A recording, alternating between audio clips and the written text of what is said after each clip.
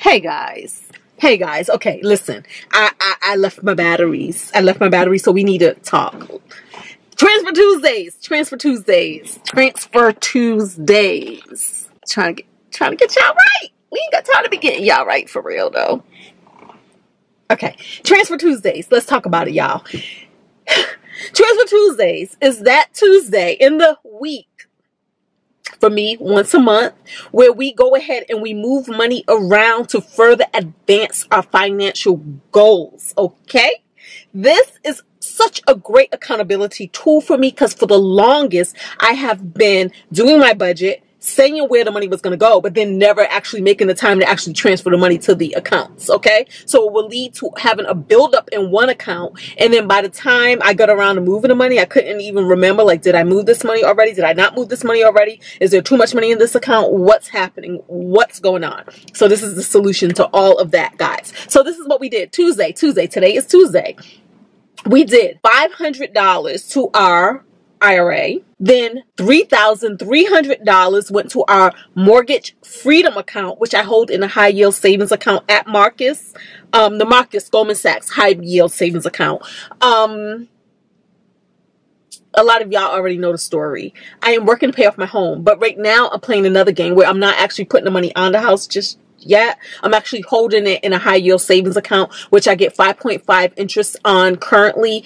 And I'm letting the money build there. And then when I feel froggy, I'm going to leap and move the money all the way to my mortgage. Hopefully what I would like to do is just build up the money so that one day all of the money is in that account where I can say today I can pay off my mortgage if I want and make one lump sum. That's the dream. That's the vision right now. Okay. So 3,300 there.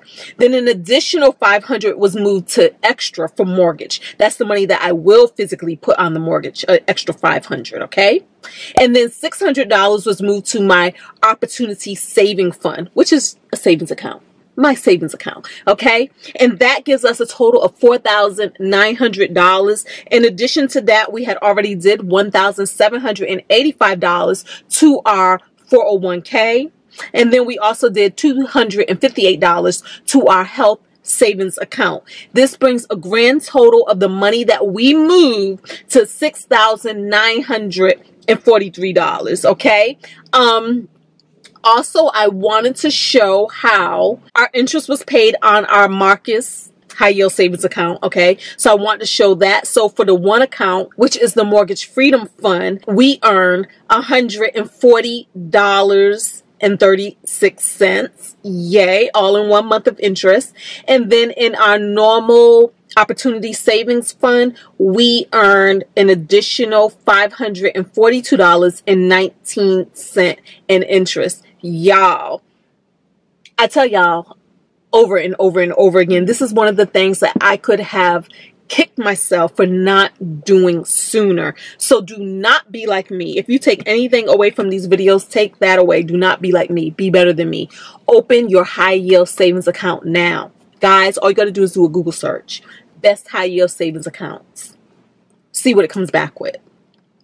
You want to go for something that has little to no fees, actually no fees. You want to go with something that is super flexible. You want to go with something that gives you a high interest rate. Right now with Goldman Sachs Marcus, because with your high yield savings account, guys, the interest rate can fluctuate month to month to month. It has been pretty much the same for the past four or five months or so.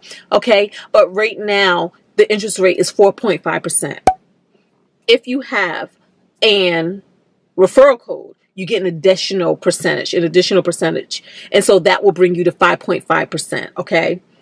If you want one, email me and I will send you a referral code. It's not my referral code. Um, at some point, it's going to be mine again because Thank you. Thank you. I had mentioned it in a video before that I need to look up again when you can actually start referring out again. And somebody actually sent me the, the answer in my email. So thank you so much for that. Um, so basically they let you do five a year. So it's coming up soon that I can start doing another five. But as for now, we are using referral codes of you guys who send me your referral codes. I'm sharing them out with the family and that is what's happening. So email me if you want a referral code and you can get your additional percent in your interest rate. Okay. Um, also the other thing I wanted to look at But we're not diving deep into this because I wanted to start looking at like what are my accounts making when we do this. Now, listen. I pulled up one of my investment accounts. This isn't all of them. This is one of the investment accounts. And it shows that in one day it made $11. but it also shows that actually, I'm not sure. I don't think this is accurate.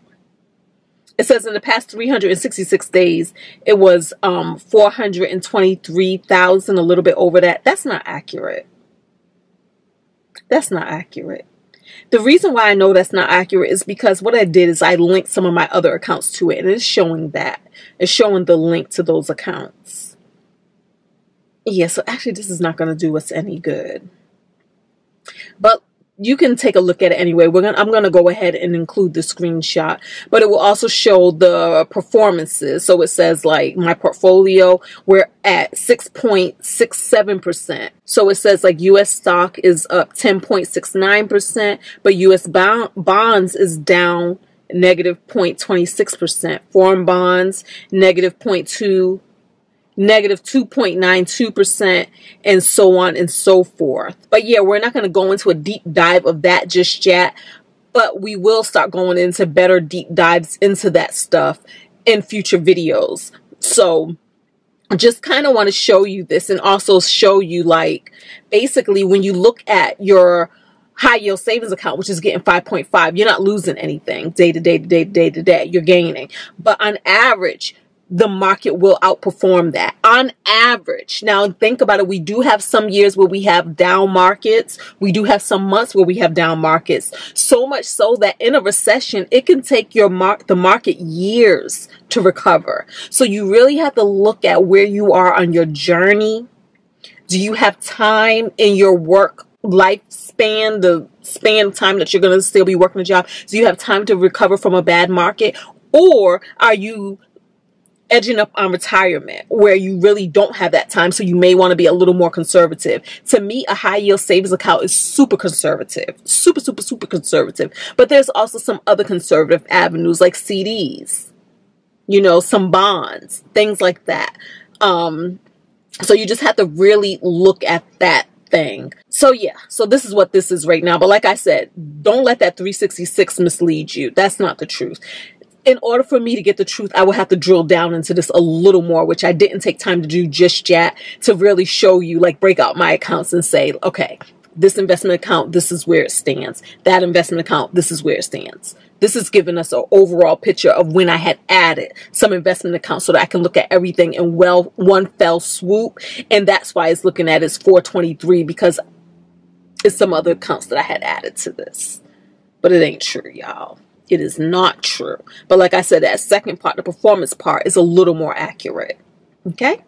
Um, so that's what it is. That's Transfer Tuesdays, y'all. Talk to me about the money that you moved this Tuesday. Peace.